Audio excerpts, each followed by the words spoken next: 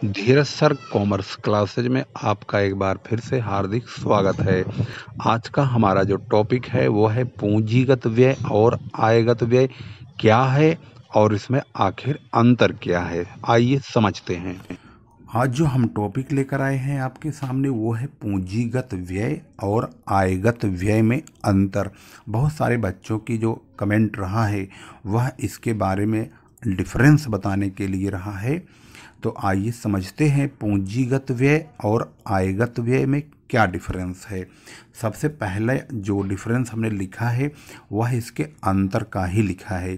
स्थायी संपत्तियों को क्रय करने और उनकी कार्य क्षमता में वृद्धि करने हेतु किया गया व्यय पूंजीगत व्यय कहलाता है, जैसे भवन, मशीनरी, फर्नीचर, भूमि आदि।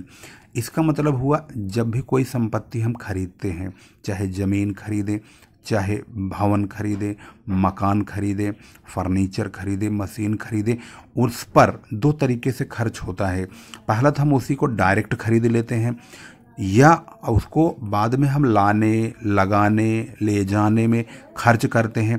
तो ये सब जो खर्च होता है, यह भी पूंजीगत व्यय में ही होता है। मान लो हमने मशीन खरीदी दिल्ली से पचास हज़ार रुपये की। लाने का खर्चा हो गया, उसका भाड़ा दस हज़ार रुपये तो अब उसका ये दाम पचास हज़ार नहीं माना जाएगा, उसका दाम साठ हज़ार रुपये माना जाएगा। इसी प्रकार से जो भी खर्च इन संपत्तियों की कार्य क्षमता में वृद्धि करने के लिए, यानी कि पहले इस मशीन में कोई कमी थी, जिसकी वजह से यह इतना प्रोडक्ट नहीं दे पा रही थी जितने की हम अपेक्षा करते थे। लेकिन बाद में हमने इस मशीन में दो चार दस हज़ार रुपये लगाया, इसकी मरम्मत रिपेयरिंग करवाई और इसमें कुछ सुधार हुआ तो अब यह प्रोडक्ट दस बीस पीस एक्स्ट्रा होने लग गया। इसका मतलब इसकी कार्य क्षमता बढ़ गई। तो जो व्यय हमने इसकी कार्य क्षमता को बढ़ाने में किया है, वही व्यय पूंजीगत व्यय कहा जाएगा। जबकि आयगत आयगत अगर व्यय की बात करते हैं तो यह दिन प्रतिदिन की गतिविधियों को संचालित करने के लिए ही किया गया व्यय आयगत व्यय कहा जाएगा, जैसे किराया। किराया हम रोज़ देते हैं। मतलब रोज़ का मतलब होता है कि हम हर महीने देते हैं। महीने में चार बार, कभी तीन बार कभी मतलब व्यवसाय के ऊपर डिपेंड करता है कि क्वार्टरली किराया जमा कर रहा है या हर महीने जमा कर रहा है या साल भर में इकट्ठे जाकर जमा कर देता है। तो यह डिपेंड करता है कि व्यवसाय का मालिक कैसा है, क्या उसने किराए के बारे में कैसा एग्रीमेंट किया है। लेकिन यह तय है कि किराया उसका कंटिन्यू जाएगा। वह मशीन की तरह नहीं है कि एक बार मशीन खरीद ली तो किराया भी एक बार दे दिया तो ज़िंदगी भर के लिए हमने किराया दे दिया है। ऐसा नहीं होता। ऐसे ही यात्रा व्यय है, ब्याज है, कमीशन है, ये सब खर्चे आए दिन होते रहते हैं। तो तो जो खर्चे आए दिन होते रहते हैं, इन्हीं को ही हम आयगत व्यय कहते हैं। अब बात करेंगे पूंजीगत व्यय के दूसरे अंतर के बारे में। तो पूंजीगत व्यय की जो प्रकृति होती स्थायी होती है। अर्थात इसको हम एक बार अगर खर्च करेंगे तो हम निफ्राम हो जाएँगे, स्वतंत्र हो जाएँगे काफ़ी लंबे समय के बाद ही हम इस पर खर्च करेंगे। यह स्थायी संपत्ति होती है। जबकि यह आयगत व्यय की अगर बात करें तो इसकी प्रकृति अस्थाई होती है। यानी कि यह फिक्स नहीं है कि एक बार हमने किराया दे दिया तो अब हम हमेशा के लिए फ्री हो गए। ऐसा नहीं है, बल्कि यह अस्थाई है। इस महीने दिया है तो अगले महीने भी देंगे, फिर उसके अगले महीने भी देंगे। इसका मतलब है ये स्थायी नहीं है, ये अस्थाई है। इसके बाद तीसरा अंतर है पूंजीगत व्यय। कभी कभी होते हैं। ये सही बात है, मशीन हमने आज खरीदी है तो अब हम तीसरे दिन मशीन तो खरीदेंगे नहीं, या हर महीने मशीन नहीं खरीदी जाएगी।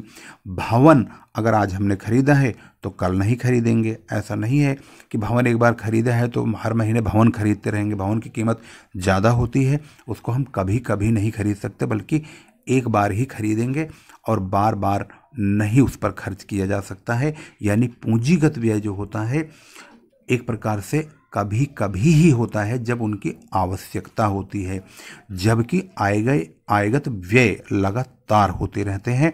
इनके बारे में यह नहीं फिक्स होता है कि कब हो जाए। पूंजीगत व्यय दीर्घ दीर्घावधि अथवा दीर्घकालीन होते हैं। यानी इनको एक बार अगर हम खरीदते हैं तो इसका जो फ़ायदा होता है, काफ़ी लंबे समय तक उठाया जाता है। ये बहुत लंबे अवधि के होते हैं, बहुत लंबे समय तक चलते हैं। अगर हमने ज़मीन खरीदी है तो ज़मीन वर्षों तक चलेगी। मकान बनाया है तो मकान वर्षों तक चलेगा। मशीन खरीदी है तो मशीन का भी लाभ हम बहुत लंबे समय तक लेंगे। उससे जो उत्पादन होगा वह बहुत लंबे समय तक होगा। इसलिए कहा जाता है कि पूंजीगत व्यय दीर्घावधि अथवा दीर्घकालीन होते हैं, जबकि आयगत व्यय अल्पकालीन होते हैं, क्योंकि इनका जो संबंध होता है, वह बिज़नेस से होता है, वर्तमान से होता है, जो कि कभी भी हो सकता है। तो इसका मतलब ये हुआ कि इनकी जो अवधि है, वह बहुत कम समय की होती है। यानी कि जैसे किराए की बात अगर कर रहे हैं तो किराया हर महीने देते हैं।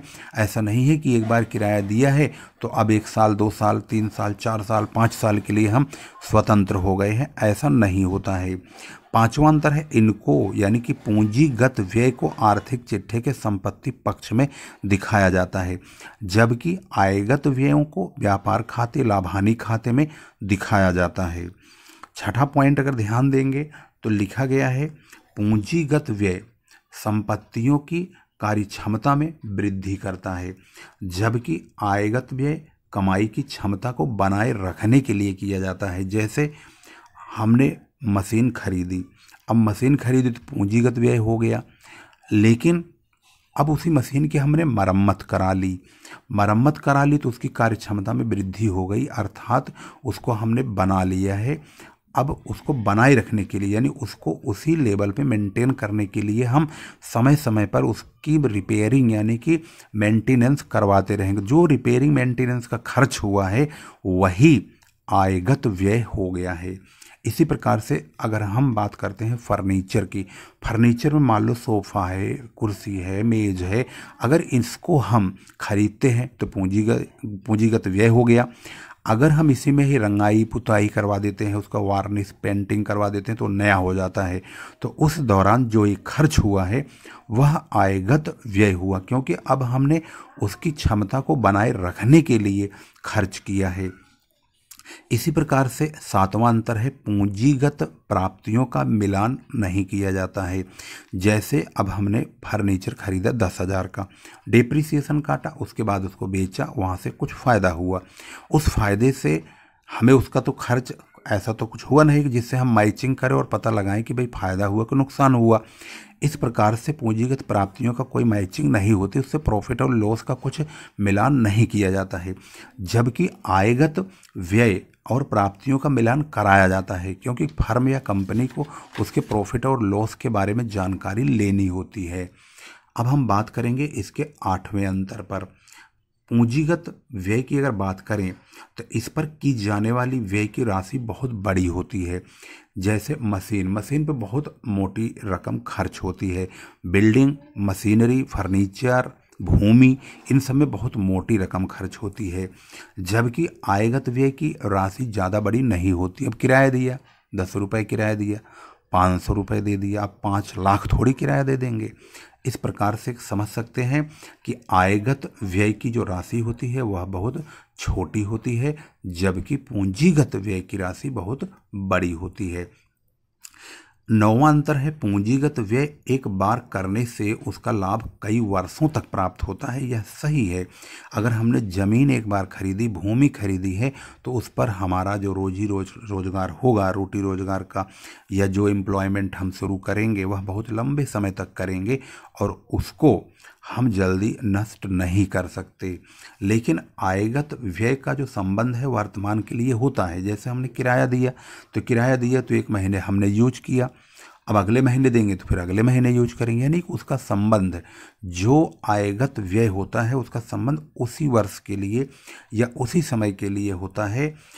जबकि पूंजीगत व्यय का संबंध कई सालों के लिए होता है, कई वर्षों के लिए होता है, उसका लाभ हम कई वर्षों तक ले सकते हैं। पूंजीगत व्यय एक मुफ़्त विनियोग है, यानी पूंजीगत व्यय, यानी मशीन, फर्नीचर, बिल्डिंग, इन सब में हम एक बार में पैसा खर्च करते हैं बार बार नहीं करते एक मुफ़्त पैसा देते हैं, यानी कि अगर दस लाख की ज़मीन है तो हम दस लाख रुपया एक बार में ही खर्च करेंगे। उसे किस्तों में नहीं देंगे कि एक लाख आज दे दिया, पचास हज़ार कल दे दिया, या दो लाख रुपए दो साल बाद दे देंगे, तीन लाख रुपए चार साल बाद दे देंगे, ऐसा नहीं करेंगे। बल्कि उसका पेमेंट हमें एक मुफ़्त में ही देना होता है। स्थायी संपत्तियों का यही सबसे बड़ा लक्षण है।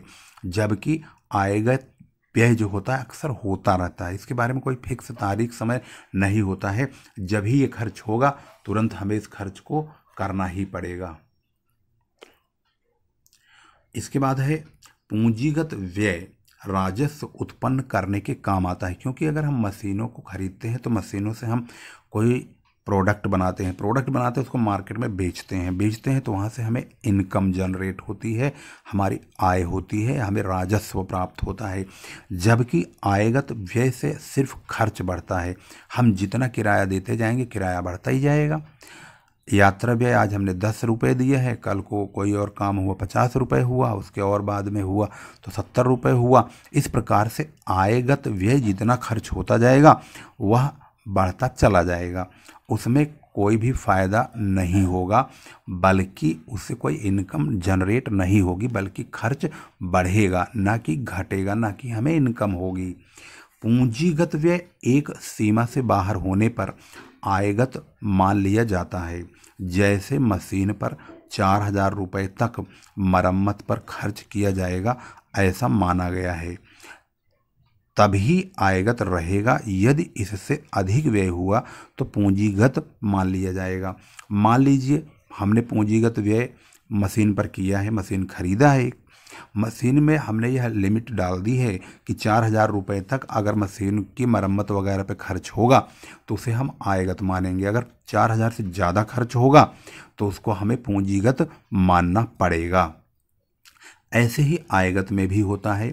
आयगत व्यय एक जो है प्रारंभ से ही आयगत होता है।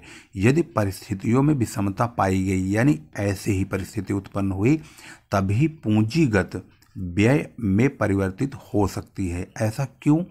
अब उदाहरण देख लीजिए। मशीन की मरम्मत में सामान्य खर्च हमने चार हज़ार रुपये तक आयगत होगा, ऐसे माना है। यदि इससे अधिक अगर हो जाती है, इसके ऊपर खर्च तो हम इसे पूंजीगत के रूप में व्यवहार करेंगे। यानी कि अगर मशीन खरीदा है, मशीन पे हमने कहा चार हज़ार रुपये खर्च होगा तो उसको हम आयगत मानेंगे। लेकिन उससे अधिक खर्च होगा तो उसे हम पूंजीगत व्यय मान लेंगे। सेम यही प्रोसीजर इसमें भी लागू होगा। लेकिन अंतर क्या होगा? अंतर होगा लिमिटेशन का और परिस्थितियों का। यानी इसकी परिस्थितियों के अनुकूल अगर रहेगा तो पूंजीगत से आयगत भी हो सकता है और आयगत से पूंजीगत भी हो सकता है। और वही परिस्थिति इस पर भी काम करती है। हालाँकि यह अंतर नहीं बनता है, लेकिन परिस्थितियों के अनुसार इसका अंतर बनता है एक दूसरे के अपोजिट में। तो इस प्रकार से हमारे जो पूंजीगत व्यय और आयगत व्यय में अंतर है, हमने बारह अंतर पढ़े हैं, जो कि स्टेप बाय स्टेप हमने एक एक करके आपके सामने रखा है। इसको आप अपने कॉपी में लिख लेंगे लिख करके इसको पढ़ेंगे तो अब आपको सुनने के बाद यह बहुत अच्छी तरह से इसका हर एक पॉइंट आसानी से आपने समझ लिया है।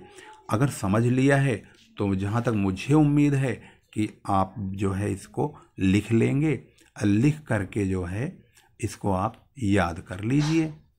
इस प्रकार से मैं इसको ऐसे इसलिए दिखाता हूँ ताकि आप जो है इसको नोट करने में आपको असमर्थता ना हो और आप वीडियो को रोक करके इसको लिख सकते हैं बड़े आसानी से। इस प्रकार से आप देख सकते हैं इसको। और यह हमारा जो है महत्वपूर्ण टॉपिक है, पूंजीगत व्यय और आयगत व्यय में अंतर। इसके बाद हम अगला टॉपिक लेंगे कंपनी का, लेकिन वो हमारी वीडियो होगी नेक्स्ट। ठहरिए ठहरिए, अभी कहीं मत जाइए। ये जो वीडियो हमने लगाया है, ये हमारे नवनिर्मित आवास के पास का है। ये वीडियो हमने इसीलिए लगाया है क्योंकि अब मैं आपसे कुछ बातें करूँगा। बातें इस उपलक्ष्य में करूँगा कि अब हम जो वीडियो अपलोड कर रहे हैं, ये वीडियो आप लोग देखते भी हैं, कुछ लोग इसको डाउनलोड करते हैं और कुछ लोग इसको डायरेक्ट भी देखते हैं। तो मैं आप लोगों से ज़्यादा कुछ नहीं सिर्फ़ इतनी ही गुजारिश करूँगा कि जब आप लोग वीडियो देखते हैं तो वीडियो देखने के बाद इसको शेयर ज़रूर करिए। मुझे इस बात का अफसोस ज़्यादा होता है कि जब स्टूडेंट इस वीडियो को अपलोड कर लेते हैं डाउनलोड कर लेते हैं, परंतु इसका जो मुख्य मकसद है, उससे हम दूर हट जाते हैं। यानी इसको हम शेयर करने के लिए कहते हैं, लेकिन आप लोग शेयर नहीं करते हो। तो जो कि मुख्य उद्देश्य है कि और भी बच्चे इससे लाभान्वित हों। तो मैं यही जो है आपसे अपेक्षा करूँगा कि आप इस वीडियो से खुद लाभ तो लीजिए, परंतु इसका लाभ और बच्चों तक ज़रूर पहुंचाइए। आप वीडियो डाउनलोड कर लेते हैं, करके देख लेते हैं, वो सही है, देखिए। परंतु इसका लिंक जो है, आप अपने स्टूडेंट्स जो फ्रेंड सर्किल है, उसमें ज़रूर शेयर कीजिए।